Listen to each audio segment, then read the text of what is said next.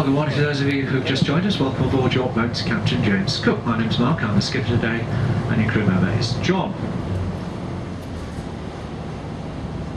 We're underway now and heading upstream along the River Ouse. Before we go too much further, a quick safety announcement. Captain Cook has sufficient flotation aids for everybody on board the buoyancy apparatus. And life buoys are all on the upper deck. These can be manually launched or will float free. We also have firefighting equipment. The fire extinguishers are kept at either end of the enclosed saloon. In the unlikely event of an emergency during the trip, please keep calm and follow the crew's instructions. If instructed to evacuate the vessel, do so by your nearest exit. But on the lower deck, you should note that the saloon windows are open and these may be used as additional exits in an emergency. Thank you for your attention. If you have any questions concerning safety or indeed any other aspect of the cruise, please do not hesitate to ask either John or myself.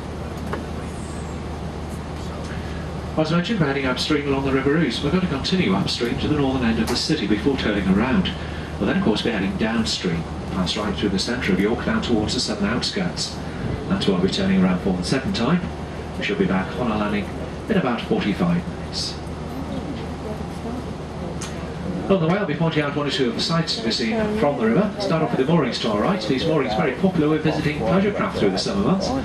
It's not unusual to see boats moored all along this stretch for about two and sometimes even three deep.